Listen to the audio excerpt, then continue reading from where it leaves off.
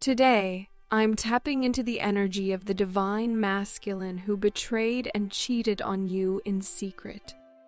This unfaithfulness was completely unexpected, leaving you shocked and hurt. As you processed this betrayal, you also began to recognize how they had manipulated you in the past. Following this incident, you became deeply upset and distanced yourself from them. Your divine masculine can sense this detachment and observes you from a distance. They notice that you now seem more focused and confident in your own world. This makes them eager to reestablish communication with you.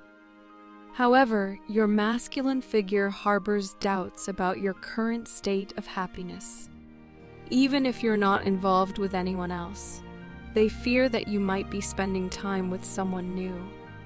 They perceive you as more secretive now, as you no longer share details of your life with them or anyone else.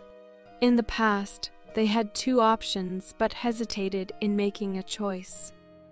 Now they view you as the Empress, the one meant for them. We hope you're enjoying the content so far. By hitting the subscribe button below, You'll get access to all our latest videos and stay up to date with our channel.